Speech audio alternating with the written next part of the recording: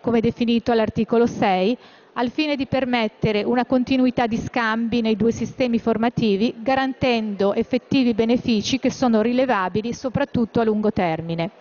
Signora Presidente, seppur sinteticamente e tralasciando gli aspetti più tecnici, penso di aver evidenziato le ragioni che spingono il mio gruppo parlamentare ad annunciare il voto favorevole, convinti della necessità di una rapida approvazione del provvedimento di ratifica. Grazie onorevole Nissoli. È scritto a parlare il deputato Borghesi, prego, ne ha facoltà. Grazie Presidente. Con l'accordo bilaterale che è sottoposto oggi all'esame della nostra Assemblea, Italia e Federazione Russa si riconoscono reciprocamente la validità dei titoli di studio rilasciati dalla controparte, agevolando l'inserimento del mondo del lavoro delle persone più qualificate delle rispettive nazionalità al livello loro più appropriato. Dovrebbero essere facilitati anche gli scambi accademici e le collaborazioni tra le università, dischiudendo ai nostri studenti e ai talenti del nostro Paese maggiormente interessati la via di un'integrazione della propria preparazione in Russia.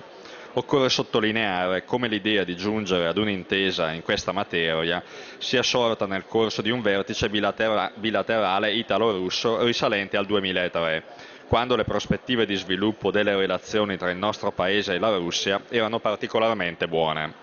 Desideriamo ricordare come i governi in cui la Lega era parte diedero impulso particolare all'intensificazione dei rapporti con Mosca. Tuttavia, questo indirizzo non è venuto meno neanche nei periodi in cui il centrodestra ha dovuto passare la mano.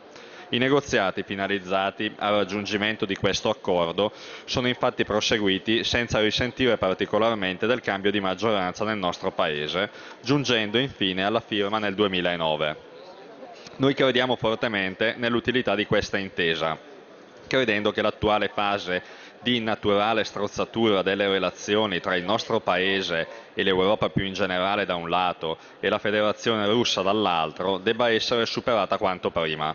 Nel frattempo, con il reciproco riconoscimento dei titoli di, studi, di studio, prepariamo il futuro. Per questi motivi annuncio il voto favorevole del gruppo della Lega Nord. Grazie onorevole Borghesi. Ha scritto a parlare il deputato Tancredi. Prego, ne ha facoltà. Sì, Presidente, molto brevemente si tratta di un accordo fatto a Roma il 3 dicembre 2009, come è stato eh, già detto, è finalizzato a disciplinare il reciproco riconoscimento dei periodi eh, dei titoli di studio universitari ai fini dell'accesso della prosecuzione degli studi nelle istituzioni universitarie dell'altro eh, Paese. Non credo sfugga a nessuno l'importanza dei rapporti culturali con la Federazione russa che sono attualmente in realtà disciplinati da un accordo di collaborazione nel campo della cultura e dell'istruzione firmato il 10 febbraio 1998 a Roma. Ehm, l'accordo sul reciproco riconoscimento dei titoli di studio consentirà agli studenti di una delle due parti in possesso del titolo finale degli studi secondari superiori di essere ammessi all'istruzione universitaria dell'altro Stato contraente, eventualmente premi esame di idoneità al corso universitario prescelto o verifiche sulla conoscenza della lingua nazionale. Eh, l'importanza appunto eh, riguarda la collaborazione culturale gli interscambi che tra studenti sono importantissimi e sono la base anche degli scambi commerciali e culturali fra i eh, Paesi.